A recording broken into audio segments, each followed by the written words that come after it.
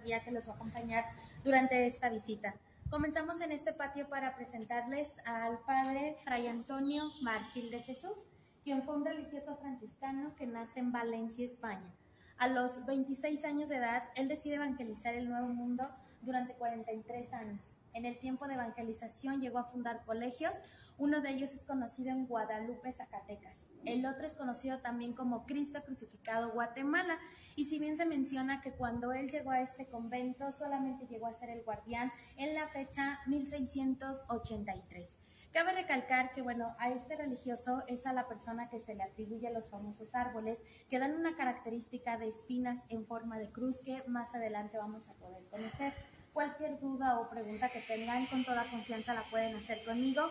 Mantendremos el orden y el silencio, ya que el lugar pues, todavía sigue en función por una orden franciscana. Cualquier fotografía o video que gusten tomar se puede ir haciendo durante la visita, ya que no vamos a regresar sobre las mismas instalaciones. Repito, mi nombre es Saraí y voy a ser la guía que los va a estar acompañando. Si me permiten, quiero que me acompañen, me acompañen y los lleve a la siguiente estación. Vamos a pasar por este lado. Bienvenidos.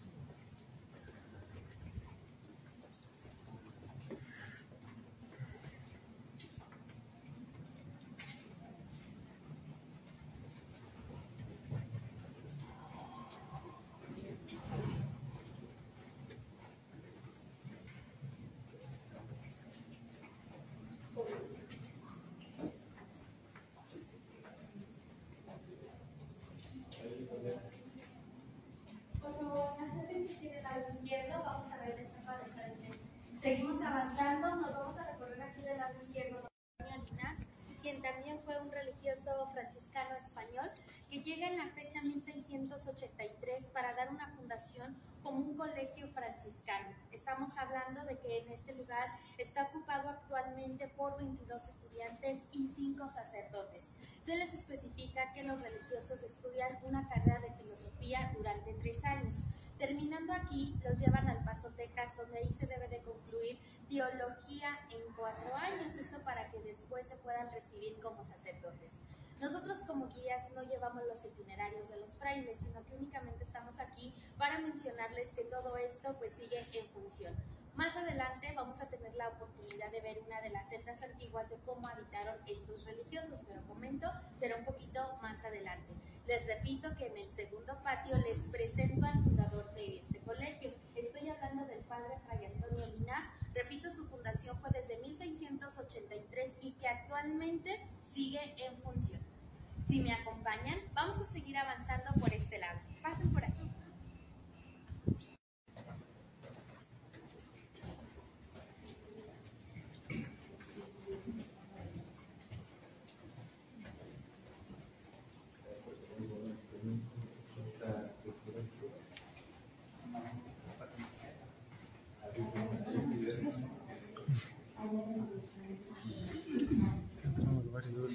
más para que nos cuente.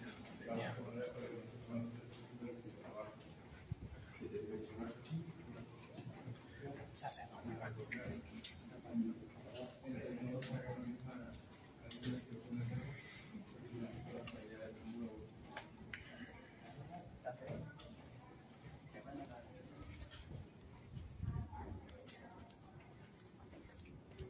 Pasen por aquí, por favor, vamos a seguir avanzando. Adelante, nos acercamos hacia la reja, por favor.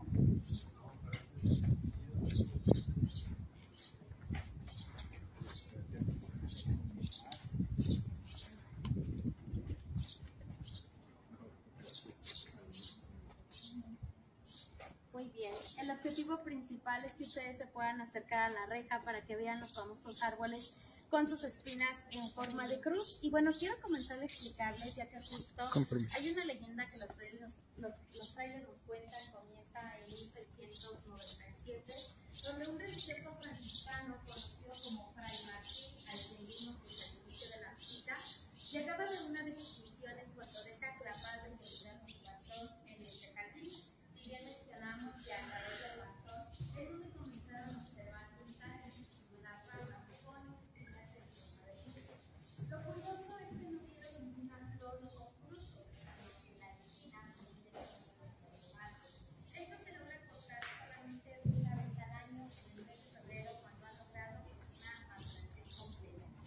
con explicaba en febrero cuando llega esa maduración, todas estas espinas después de cortarlas, las mandan a hacer recuerdos para que lleguen a la tienda de este convento. Cuando nosotros terminemos la visita, yo misma les voy a indicar dónde está la tienda. Si les interesa, ustedes pueden adquirir sobre ellas. El último dato que les quiero comentar es que los árboles no tienen un nombre en específico, sino solo una clasificación. Vienen del huizache o de la mimosa. Eh, como explico, pues es una clasificación que se le da al árbol. Ya el nombre común es a través de la gente llamarlos árboles que dan espinas en forma de cruz. Ese es un nombre común por obvias razones, como ustedes ahora ya lo están. Muy bien. Y bueno, como les comentaba, nosotros no vamos a regresar sobre ninguna de las instalaciones. Yo espero que ustedes se hayan acercado a observar las espinas o tomado alguna fotografía, ya que seguiremos avanzando para mostrarles más partes que tiene el convento. Regresamos del lado izquierdo, al donde me indico yo, para seguir continuando. Pasen por este lado, por favor, adelante. Se Sí, el bastón. plantó el bastón. justo al que vimos y lo hacemos referencia principalmente para que ustedes lo vean justamente con el bastón al inicio, ya que como también vimos otro fray con el nombre similar para que la gente pues lo identifique mejor. Lleve escuchado una historia que había sido en San, Francisco, cuando estaba bajo el templo y luego a otro y así. Pero qué bueno que Posiblemente sea de la orden, porque la orden viene de San Francisco de Asís, por eso es que nos referimos a ellos como frailes franciscanos. Y bueno, como usted escuchó desde el inicio, escuchamos a Fray Martín o Fray Antonio. Entonces llevan el mismo, a lo mejor por ser franciscanos. ¿Puede ser eso también? Pasamos por aquí.